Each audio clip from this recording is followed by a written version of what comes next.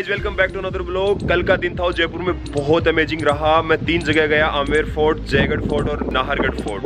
तो कल का दिन काफ़ी अमेजिंग था मेरे लिए और आज मेरा जयपुर में दूसरा दिन है। आज के दिन हम लोगों ने सोचा कि हवा महल, जल महल, अल्बर्ट म्यूज़ियम और जो जंतर मंतर वगैरह, उन सब जगह कवर कर लोकल मार्केट में जाएँ।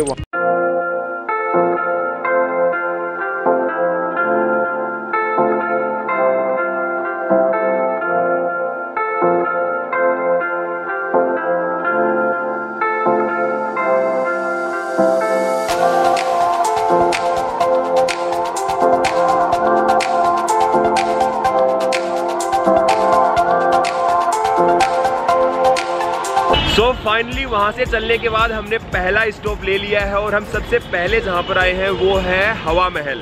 यहाँ मेरे बिल्कुल पीछे देख रहे ये है हवा महल। जिसको सवाई प्रताप सिंह ने बनवाया था और उसका बनवाने का कारण था कि उस वक्त पर्दा प्रथा बहुत ज़्यादा थी जो उनकी रानी और महारानी थी, वो इन छोटी छोटी खिड़कियाँ जो बनी हुई है इसके अंदर, उनसे वो बाहर हो रहे रोड पर या आस पड़ोस के जो जहाँ पर राजा कुछ करते थे, वो वहाँ से झाँक कर देख सकती थी, ताकि उनको कोई ना देख सके और वो उन झरोखियों से, उन सब चीज़ों को देख सके।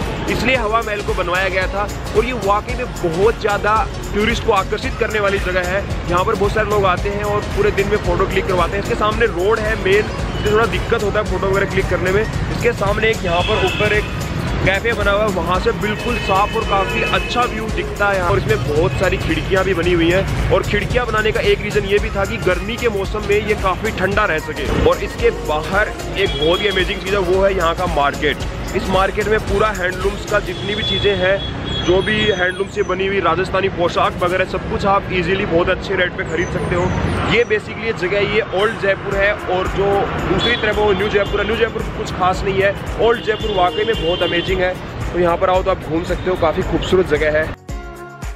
कल रात को फोर्ट घूमने के बाद जब हम लोग यहाँ से निकले थे तो पूरा जो एरिया था काफ़ी ज़्यादा चमक रहा था, बहुत खूबसूरत लग रहा था। तो हवा महल पर रात को आने से भी फ़ायदा है, क्योंकि अगर रात को आप हवा महल को यहाँ पर आओगे तो ये काफ़ी सुंदर दिखता है। रात में जो लाइट्स हैं, वो जल जाती है, जिसके कारण ये और ज़्यादा अमेजिंग लगता है। और ये जो मार्केट है, पूरा ओल्ड जयपुर में, ये भी काफ़ी ज़्यादा खूबसूरत लगता है यहाँ की लाइट्स वगैरह जलने के बाद में। इसलिए दिन में आना तो अच्छा है, रात में आना और ज़्यादा अच्छा लगता है यहाँ पर। अब हम लोग जा रहे हैं हवा महल के अंदर।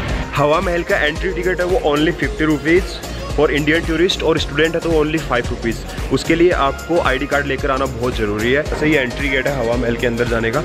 और दिखाता हूँ मैं आपको हवा महल के अंदर का नज़ारा।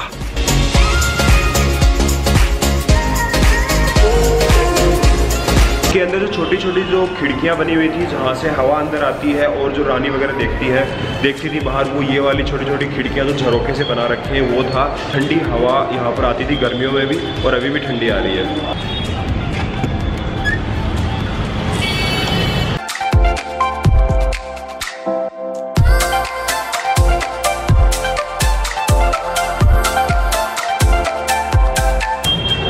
हवा महल के बाद हम लोग पहुँचे हैं अल, अल्बर्ट हॉल म्यूज़ियम और ये बहुत ही ज़्यादा खूबसूरत है बाहर से और ये इसलिए भी जाना जाता है कि यहाँ पर आप बहुत सारे कबूतर हैं। आज यहाँ पर इंडियन आर्मी का कुछ फ़ंक्शन है आज ट्वेंटी फिफ्थ जैन है इसलिए तो यहाँ पर थोड़ा बाहर से इसको बंद कर रखा नहीं यहाँ भी आप आप आकर फ़ोटोज़ वगैरह क्लिक करवा सकते हैं और इसके अंदर भी जा सकते हैं। फोर्टी रुपीज़ टिकट है इसके अंदर जितना भी जो पुरातत्व विभाग को, जो जो सामान मिला जयपुर में, जितने फोर्ट थे या जो किले वगैरह थे, जहाँ से जो कुछ मिला, वो सब इसके अंदर है। तो आप जयपुर आओ तो यहाँ पर ज़रूर विज़िट कर सकते हो। यहाँ पर पूरी हिस्ट्री वगैरह लिखी हुई है। आई होप आपको भी अल्बर्ट हॉल म्यूज़ियम काफ़ी अच्छा लगा होगा। फ़ोटोज़ के लिए तो बड़ी खूबसूरत जगह यार। यहाँ पर पूरा जैसे दिल्ली का कनॉट प्लेस देखोगे, वैसा ही यहाँ का जयपुर का अल्बर्ट हॉल म्यूज़ियम का आसपास का एरिया बहुत ही खूबसूरत है पूरा। बहुत सारे फॉरनर्स यहाँ घूमने आते हैं, घूम रहे हैं, बाकी घोड़े वगैरह, ऊँट वगैरह सब कुछ आपको यहाँ पर आस में यहाँ घूमने के लिए मिल जाएँगे। तो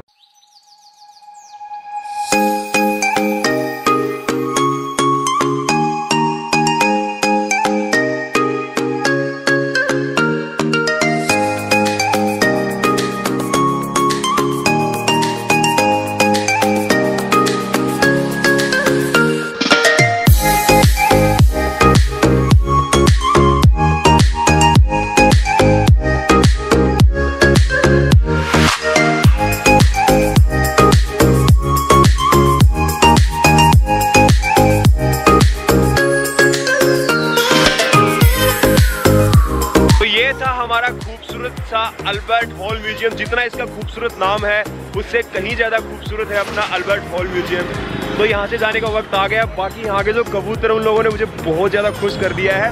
मैं इससे पहले गया था अमेर फोर्ट, उसके बाहर भी बहुत सारे पिजन थे। उनके पास अगर आप दाना डालोगे तो वो आपके ऊपर आकर बैठ जाएँगे, वो काफ़ी अमेजिंग लगता है। तो जब हम लोग अल्बर्ट हॉल म्यूज़ियम के सामने थे, वहाँ पर बहुत तेज़ बारिश हुई। लगभग एक डेढ़ घंटे तक हम लोग वहीं पर फंसे रहे। बहुत तेज़ बारिश हो रही थी, हमारे पास बाइक थी।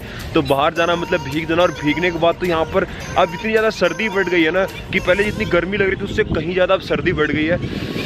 इसलिए जैकेट वैकेट पहनी है। अभी थोड़ा थोड़ा बारिश रुका है। हल्का हल्का बारिश हो रहा था बूंदाबांदी। उसके ख़त्म होने के बाद हम लोग पहुँचे जल महल और मेरे बिल्कुल वहाँ पर सामने है जल महल वहाँ पर जाना अलाउ नहीं है। सिर्फ़ यहाँ पर लोग आते हैं, फ़ोटोज़ वगैरह क्लिक करते हैं, वेडिंग शूट होता है, वो सब यहाँ पर लोग आकर शूट करते हैं और फिर चले जाते हैं। यहाँ पर बहुत सारे फॉरनर्स टूरिस्ट वगैरह आते हैं घूमने के लिए। इसके जस्ट सामने इधर सब लोग ये जो खड़े हैं, यहाँ पर ये जो ये इलाका है, पूरा ये लोग खड़े हैं। यहाँ पर लगता है मार्केट बहुत सारा, बहुत अच्छा मार्केट लगता है, हैंडलूम्स वगैरह का और लोकल मार्केट, चीप रेट्स वाला। तो इसके सामने मार्केट लगता है रोज़ शाम को। और रात होने पर यहाँ पर बहुत सारी लाइट्स हैं, वो जल जाती हैं। जलने के बाद में इसके चारों तरफ़ लाइटिंग लगी हुई है। तो ये बहुत ज़्यादा खूबसूरत दिखता है रात में। यहाँ काफ़ी ठंडी हवा चल रही है। बीच में जब बारिश हो रही थी तो सर्दी बहुत ज़्यादा बढ़ गई थी, लेकिन अभी हमने, अभी थोड़ा कम हो गया। जब से वीडियो बनाने लग गया हूँ, पता नहीं क्या जोश आ गया कि अब सर्दी कम लगने लग गई है। अभी शाम के सात बजे हैं और मैं महल के बाहर खड़ा हूँ। मैंने सोचा दिन में देखा तो रात में भी एक बार आप सबको दिखा दूँ हवा महल की जो खूबसूरती, जो रात में दिखती है उसको। इसलिए मैं यहाँ पर आ गया हूँ।